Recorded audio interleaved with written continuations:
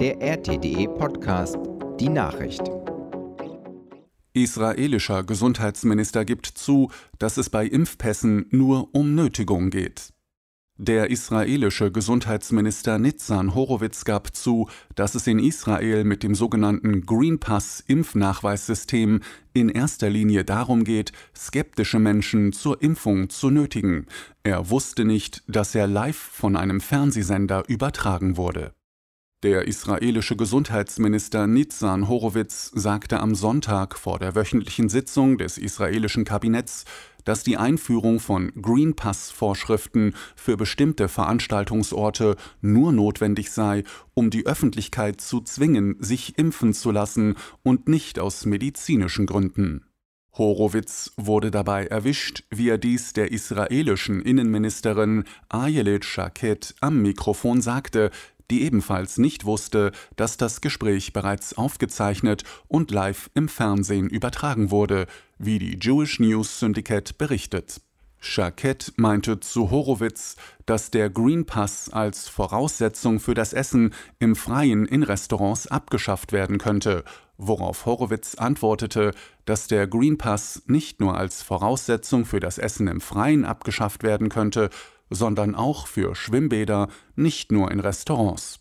Horowitz sagte weiter, Zitat, Epidemiologisch gesehen ist es wahr, dass unser Problem die Leute sind, die sich nicht impfen lassen. Wir müssen da ein wenig beeinflussen, sonst kommen wir da aus dieser Pandemiesituation nicht heraus. Zitat Ende.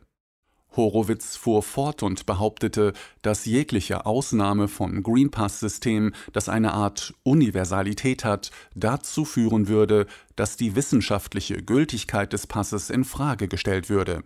Horowitz räumte auch ein, dass das Green Pass-System an den meisten Veranstaltungsorten dennoch nicht genutzt wird. Laut Horowitz Zitat es gibt eine Art Universalität für das Green Pass-System, außer in Einkaufszentren, wo es meiner Meinung nach eingeführt werden sollte, denn es ist jetzt klar, dass es nirgendwo angewendet wird. Zitat Ende. Israel war das erste Land der Welt, das einen Impfpass ausstellte, den es dann aber im Juni diesen Jahres wieder abschaffte.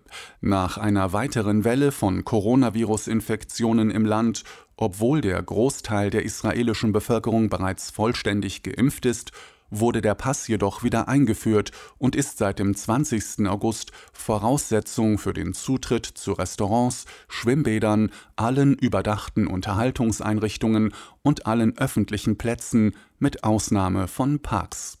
Kinder unter zwölf Jahren, die nicht geimpft sind, müssen sich regelmäßig auf Coronaviren testen lassen, wenn sie diese Einrichtungen betreten wollen.